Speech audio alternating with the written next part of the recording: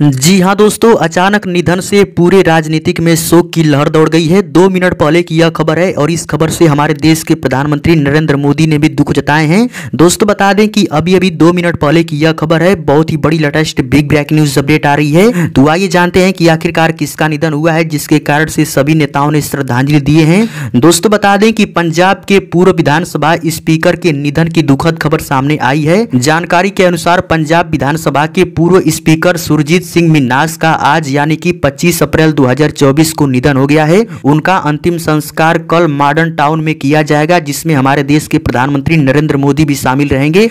दोस्तों, बता दें कि पंजाब के पूर्व विधानसभा यानी कि विधानसभा में जो स्पीकर होते हैं, जिनको विधानसभा में सारी बातें सुनाई जाती है, उनको स्पीकर कहा जाता है और आज उन्हीं स्पीकर का निधन हो चुका है, जिसके कारण से पूरे राजनीतिक में शोक की लहर दौड़ गई है। दोस्तों, बता दें कि ये पंजाब के पूर्व विधानसभा के स्पीकर स्पीकर थे, जो कि आज 25 अप्रैल 2024 दिन बृहस्पतिवार के दिन को उनका शाम को निधन हुआ है और इस खबर से हमारे सभी नेताओं ने श्रद्धांजलि दिए हैं। दोस्तों, बता दें कि पंजाब के मुख्यमंत्री ने भी इनके निधन पर श्रद्धांजलि दिए हैं। इसके अलावा हमारे उत्तर प्रदेश के सीएम योगी आदित्यनाथ और साथ ही साथ हमारे हिमाचल प्रदेश के मुख्यमंत्री ने भी श्रद्धांजलि दिए हैं। तो ऐसे में अगर आप भी चाहते हैं कि पंजाब के पूर्व विधानसभा स्पीकर सुरजीत सिंह मिन्नास की आत्मा को शांति मिले तो अभी नीचे कमेंट सेक्शन में ओम शांति ओम ज़रूर लिख दीजिएगा। इस वीडियो को शेयर कीजिए, इस वीडियो को लाइक कीजिए और ऐसे ही तमाम खबरों से जुड़े रहने के लिए हमारे चैनल को सब्सक्राइब कर लें।